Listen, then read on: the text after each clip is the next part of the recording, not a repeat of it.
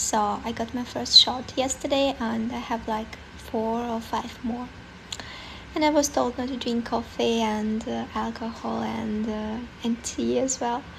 So Hello guys, now I'm not pregnant, it's just uh, I stepped on my kitty yesterday and uh, he got so scared so he bit me and uh, there was some blood so the doctor asked me to get vaccinated.